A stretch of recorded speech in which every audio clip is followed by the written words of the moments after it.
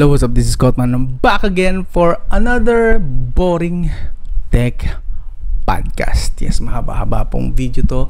Paliwanagan ng kung ano-anong bagay na maisip ako i-topic. Don't worry, still about tech pa rin po ito and about smartphone. And actually, ang topic natin for today is about ang bagong bagong pakulo ni MediaTek bagong way para mataas, mas mataasan ang presyo at para mas ma-hype ulit ang kanilang mga consumers na bumibili ng mga smartphones na may MediaTek chipset para mas ma-hype.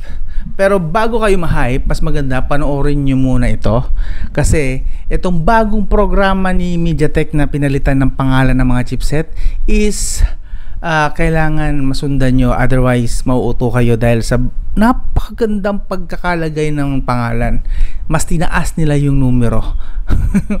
Actually, madali naman. Mapipick up niya rin naman agad to kasi basic lang yung ginawa nila. Yung nga lang, ang problem is kapag hindi mo alam, mauuto ka talaga. So, ito po, mahaba pong video ito. Kung hindi ka po sanay sa mahabang video, please, okay lang po, mag-move on ka na lang po muna sa ibang video. Marami po dyan, mas maikling video, mas, ma- mas maikling magpaliwanag.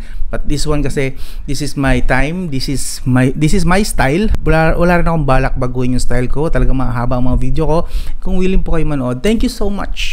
Pero kung hindi, okay lang po. Pwede na po kayo mag-move on sa ibang mga channel at YouTube videos. Bagong naming schemes ni MediaTek. Kung interesado ka, let's start. So, eto na nga siya. Teka. eto. So, sunod-sunod yung mga balita. Actually pag chinek natin dito sa MediaTek new naming scheme itong tinype mo sa Google search ito po yung mga lalabas. Yan bla bla bla dami po. So basically mga kilalang ano to? Mga kilalang mga uh, news outlet tech news outlet. Yan Giz Guide MediaTek launch Dimensity rebranded Dimensity bla bla bla. Sa unbox.ph some new MediaTek chips are renamed renamed versions of old old models. Gusto ko lang emphasize yung mga words na yon para nasa same wavelength, wavelength tayo. Okay? Old models. Rename lang. Pinangalanan lang ulit ng bago. Hmm, pinalitan ng pangalan. And then from Bibom, uh, I'm sure marami nakaka yung mga talagang enthusiast dyan sa tech mga advanced user kilala naman siguro kahit paano si Bibom Indian po ito na isa sa mga uh, talagang kilala na talaga prominent na sa name ng tech MediaTek Dimensity 7200 chipset marks the debut of the Dimensity 7000 series. Uh, meron niya, may ipapaliwa, pinapaliwanag din dito, so on and so forth. Iwan ko yung mga link dito sa video description ha. And then from Gizmo China, of course, kilala rin to kahit paano. MediaTek quietly launches Dimensity 7050 will debut in Realme 11 series. May kinalaman din po yan sa 7000 series natin. Uh, ito naman is from Techno Sports, MediaTek rebranding ng MediaTek of Dimensity introduce introducing Dimensity 6000 and 7000 series. And ito mismo uh, galing mismo sa tweet ng isang uh, kilalang ano din sa tech. MediaTek rebranding those already. Those already. Sabihin current ngayon na, nag-exist na to ngayon. Existing Dimensity 700, 800, and 900 series series SOCs under Dimensity 6000 and some 7000 series as new as new pinapalabas nila new new to. Kasi pinalitan lang nila ng pangalan from Dimensity 700 alam, alam niyo yung Dimensity 700 di ba? Pinaka weak na 5G chipset ng uh, ng ng MediaTek. And then 800 series. Mas pinalakas lang ng konti ang frequency ng sa Dimensity 700 and the same goes with Dimensity 900 same lang to ng MediaTek. Dimensity 700 pinataas lang ng konti rin ang frequency para mas lumakas ng konti. So lahat yan 5G and para mas mukha silang magmukha silang bago pinalitan sila na ngayon ng 6,000 and 7,000 series. Nilagay sila pinalitan sila ng name papunta sa 6,000 and, 7, and some 7,000 series. For example ito yung Dimensity 7020 ay dating Dimensity 930 Okay? Yung bago, bagong Dimensity 6020 ay ang dating Dimensity 700. Yes. Kung hindi niyo po kayo familiar, kung hindi kayo techie talaga, uh, para may for context lang, para may idea lang kayo, ang Dimensity 700 series po is may 5G na chipset but not for gaming. Weak po 'yon. At best, medium settings, makakasmooth ka siguro doon. High settings, ma medyo garalgal na yon uh, Or kung di man garalgal, at least prone na sa overheating or mas mabilis na sa battery. That's Dimensity, Dimensity 700 series sa'yo. Pero 5G siya don't get me wrong. Kung 5G naman ang habol mo, mag maganda-ganda signal, may at least magagamit mo yung 5G na signal na mobile data Dimensity 700. So, ang bago ng pangalan niya, hindi niyo na siya makikita as Dimensity 700. Sa mga susunod na mga i-release na phone, ang magiging pangalan na niya ay Dimensity 6020. Okay? And yung Dimensity 810, na mas malakas na ng konti lang, bahagya lang, tinaas na ng konti yung frequency, na Dimensity 810, galing kay Dimensity 700 po yan. Para ano yan, uh, overclock uh, hindi man overclock more basta technically overclock na rin dinagdagan kasi ng ng frequency eh so slightly overclock version ni Dimensity 700 si Dimensity 810 ang pangalan na po niya ngayon ay Dimensity 6080 I think may i-release si Realme yata o si Xiaomi na Dimensity 6080 ang chipset. And bago ka ma-excite kasi 6,000 siya nasa 6,000 series. Siyempre isipin mo malapit siya sa Dimensity 8100 or 8100 na kilalang kilala last year. Sikat na sikat last year for gaming like sa Poco X4 GT yata siya ginamit sa OnePlus Ace 3 or Pro, something like that, or Neo. Basta Dimensity 8100 is good for gaming. Balance po siya, hindi siya nagiging cause masyado ng overheating. Actually, most of the smartphone hindi nagka-problema sa overheating. And maganda po ang performance overall. Dimensity 81000 o 8100. That's 8100. Sorry. 8100 na lang para mas madaling bigkasin. So, yun yun eh. So, ang ginawa ni MediaTek dito, kasi kung mag-stick sila sa Dimensity 700, tapos yung kasunod na pinaka kilalang kilala na sikat na maganda is 8000, nasa 8000 series, tapos 700 lang to. Isipin siguro ng consumer, is malayo yung performance niya. Sobrang layo ang performance niya sa 8,000. Kasi 700, hindi man lang mabot ang 1,000. 8,000 yung uh, malakas na sumikat nilang chipset. So, ang ginawa ni MediaTek, inilapit niya sa Dimensity 8000 series. Pinalitan niya ngayon ang pangalan ng Dimensity 6000 series. Series. The same goes with Dimensity 810 since slightly overclock lang siya ng 700. Nilagay na rin doon. So basically, mawawala na po lahat ng hundreds. Dimensity hundreds. Mawawala na po yon 700, 800, 900. Mawawala na po yon Okay? And even the Dimensity 1000 series, yung 1080 na Infinix Zero 5G, Infinix Zero 5G, na-review ko po yan dito. Mawawala na rin po yung pangalan na yon kasi ilalagay na po siya kung hindi ako nagkakamali sa, wait, ito yun eh. Dimensity 1080. Ito. Ilalagay siya sa Dimensity 7000. So, yung bagong Dimensity 7050 is dati siyang la la la la, la Dimensity 1080. So, pag nagtaka kayo, yung uh, mabibili nyo na smartphone na Realme 11 series is wow Dimensity 7050 malapit na sa Dimensity 8100 eh di malakas to hindi po hindi po siya lang po, binalitan lang po ang pangalan. Ginawa lang siyang 7,000 pero dati po siyang Dimensity 1080. And kung curious kayo kung anong resulta ng test ko, dyan panoorin nyo yung video ko about Infinix Zero 5G. Yun, medyo, I'm sure kung mga fan kayo, mababat hurt kayo doon. Pero kung hindi naman, kung open naman ang utak nyo, open-minded naman kayo, maintindihan nyo naman kung na nagpapaka-honest lang naman ako doon. Kung hindi nyo gusto, pasensya na, yun ang experience ko, hindi ko babaguhin yun, hindi ko babaliin yun. Talagang ganun lang ang tingin ko kay Dimensity 1080. Bahala kayo. Parang ayabang ko doon. Sorry. Anyway, basically, eto, para mas maunawaan nyo na lang ng mabilis. Uh, sabi rito, Dimensity 6020. So, lahat ng Dimensity, Dimensity 6000, ito lang, gusto ko mas gawin nating simple lang to para mas madali nyo maintindihan. Lahat po ng Dimensity 6000 series na re-release, sila po yung mga pinaka-weak.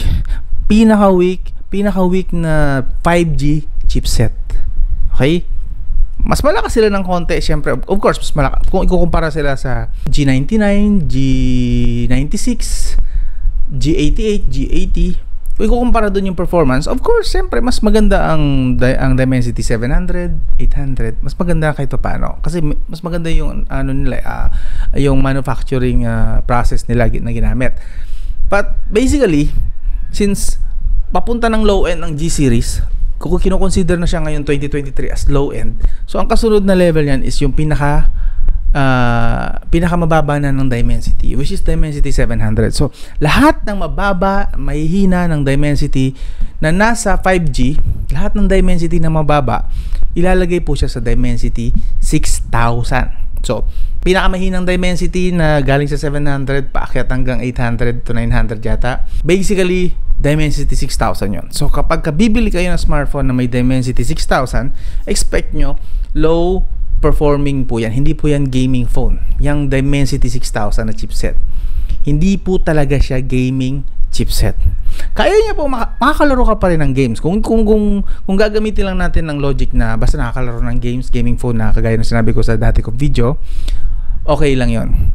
Naiintindihan ko 'yon kasi nakakapaglaro kayo doon, consider niyo na siya as gaming chipset. Okay.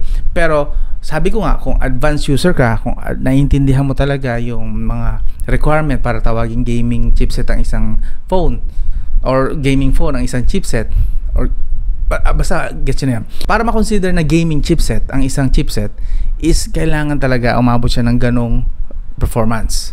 Kaya niya hanggang ultra, kaya niya hanggang super, ano pa yan, super settings, meron pa super settings, Basta yung pinaka-ultra nang hindi agad nagiinit, hindi agad bumibigay, hindi nagfe-frame drops, hindi nawawala signal, hindi nakakapaso yung uh, smartphone. Yun talaga ang masasabi natin gaming. Okay? So, si Dimensity 6000 na galing kay 700 to 800 series is medium settings pa lang mag-uumpisa na siya mag-init. High settings, mas mainit. And then siguro makakaranas ka na ng obvious na frame drops and so on and so forth after 1 to 2 hours. Of course, sa unang laro, unang 30 minutes mo to 1 hour, hindi pa siguro mo mararamdaman agad na magpe-frame drops yan. Pero try mo mag-extend to 2 hours, 3 hours, 4 hours. Tingnan natin kung okay pa rin yung uh, performance overall ng mga yan. Pero yun nga, gusto ko na ipaunawa sa inyo, lahat ng Dimensity 6000, lowest po yon Low end po yon Okay? 6,000, low end po yon Pag bibili kayo sa market, Dimensity 6000, low end po 'yon. Yun nga lang, ang dahil nga pinalitan na ng pangalan ni MediaTek, balita ko, lahat ng 6,000, Dimensity 6,000 pataas, Dimensity 7,000, pepresyohan na nila yan ng 10,000 pesos pataas. Nabalitaan ko yon hindi pa yung confirm pero yun mukhang yun doon papunta si, si MediaTek. Kaya niya ginagawa itong bagong itong bago niyang pakulo na nirename niya lahat, ni-rebrand niya, rebrand. Nakita niyo naman yung mga title kanina, rebrand, rebranding ng uh, chipset is para nga maitaas nila yung presyo and para mag, magkaroon ng bagong hype ma-hype uli kayo ng mga hindi po maaalam. Yung mga advanced user dyan, I'm sure alam nyo na to. But sa mga hindi pa po maaalam, madaling ma-hype ma-hype po kayo kasi ang ganda ng bagong naming schemes nila. Mas malapit na sa Dimensity 8100 Dimensity 9200 so malalapit na doon. So basically ginawa nila simple yung naming scheme eh. 6000, 7000, 8000 and 9000 so 4 4 na tigta 1000 series. So parang ginawa ni uh, Qualcomm Snapdragon 8 series 8 gen series 7 gen series. Ewan ko lang kung may 6 gen series pero wala yata. 4 gen series 4 gen series. So yung tatlong yon Parang ginaya lang naman to ni MediaTek si Qualcomm sa naming series. Pinasimple, pero at the same time, pwede nilang taasan nga naman ng presyo kasi pwede nilang i-market yun as kunwari, mga bagong chipset. Mga bagong chipset, pero mga luma talaga silang chipset na binago lang yung pangalan. Okay? Andyan yung mga article, kung ayaw maniwala sa akin, basahin nyo na lang. And then please, enlighten yourself and do some more research. Huwag kayong bumase lang sa binigay ko. Research din kayo para mas maganda. Um, kayo mismo ang makatuklas na legit, legit yung mga ganitong ginagawa na marketing strategy ni MediaTek. So, yeah. And then the Dimensity 7000 series. Actually, Dimensity 7000 series is since nasa 1080 yung pinaka example dito na pinakita is uh, 7 uh, 7050, 7000 is 1080. Pwede natin siya i-consider as lower mid-range or sabihin natin nasa mid-range talaga. Nasa mid-range po ang at least yung performance level niyan. Pero syempre, iba pa rin yung totoong mid-range. Ang totoong mid-range ni Dimensity is nasa 8000 series. So kung gusto nyo sulit sa pera, gaming, camera, ayun, yung dalawang yun, gaming, camera, bilhin nyo yung smartphone na may Dimensity 8000 series or 9000 series. Yon. Pero kung mga budget user kayo, settle kayo sa Dimensity 7000 series. Ito nga, makukuha nyo yung 10, Dimensity 1080. And kung bibili lang din naman kayo ng smartphone na lagpas 10,000 pesos, wag na wag po kayo, iwasan nyo po. Ito, recommendation ko lang to. Pwedeng ayaw nyo o gusto nyo, bahala kayo. Pero, ire-recommend ko lang na wag kayong bibili. Ulitin ko, wag kayong bibili pag more than 10,000 pesos kung Dimensity 6000 ang nakalagay na chipset. Do yourself a favor, hanap, hanapin nyo po yung Dimensity 7000 series, pataas at least. Pinaka lowest nyo na nabibilin dapat ay chipset na Dimensity 7000 series kasi at least Dimensity Dimensity 1080 ang makukuha nyo doon. Alright? So, yun, kagaya nito, ayan, oh, sa GIS guide mismo, yun din sinasabi. So, anyway, hindi to ganun kahaba, no? parang matatapos ko na agad siya. No? Ayan, anyway, naka 15 minutes na yata tayo. So, hindi ko na masyadong pahabain. I think mahaba na rin naman yan, pero parang di ako sanay na 15 minutes lang yung video. But, I hope naging uh, informative ito sa inyo. Naging informative ito and maybe uh, uh, sabihan nyo rin yung mga tropa nyo na madali din mauto ng mga ganitong hyping Okay, may mga YouTuber dyan na i-hype ito eh. Itong ganitong bagong uh, naming. Pero inunahan ko na kayo. Alam ko hindi, kasi alam ko hindi pa siya totally na i-release sa Pilipinas itong rebranded ng mga Dimensity. Uunahan ko na kayo, pambara na to sa mga YouTuber na mga hype ng ganitong bagong ano, porket binago lang pangalan, i-hype nila. So, gamitin nyo, I hope gamitin nyo tong video na to. Kahit hindi nyo na i-share tong video to kayo na lang mismo magsabi. And kung kailangan talaga nila ng explanation di share nyo tong video na to para mas ma-enlighten sila. Yun. Huwag papahype. Okay? Stop na tayo sa pagpapahype tayo na mismo ang uh, pumili ng sarili natin smartphone. Hindi na tayo magpapadala sa kung sino-sino lang nagpapahype sa atin. Okay? So, yun. Kudo sa mga YouTuber na hindi i-hype to and sana magpaka-honest. Kahit pa paano sa ganito kaliliit na mga bagay, kahit sa video lang, ma-inform natin ang mga kapwa natin Pinoy. And hindi rin sila ba, nagtatapon lang ng pera. So, yun. This is Scottman. Kung na pagtyagaan mo ang Boring Tech Podcast hanggang dito, maraming salamat. Anyway, this is Cotman. Kung nakabot ka sa video na to, sa part ng video na to hanggang dulo, iwan ka naman ng isang comment dyan sa comment section. Sabi mo, sabi mo kung saang lugar ka, anong lugar ka, para alam ko kung saan nakakarating itong video ko, kung sino-sino na nakakapanood, sa, hanggang saan ba nakarating ang video ko, taga saan ka boss. Yon, iwan nyo na lang sa comment section, then para makita ko na lang din kung malawak-lawak na rin ba kahit paano ang network ng channel ko. Yun lang. Uh, again, sana consider nyo na rin kahit paano mag-subscribe, like, and share. Hanggang doon lang. This is Cotman. I'll talk to you again soon.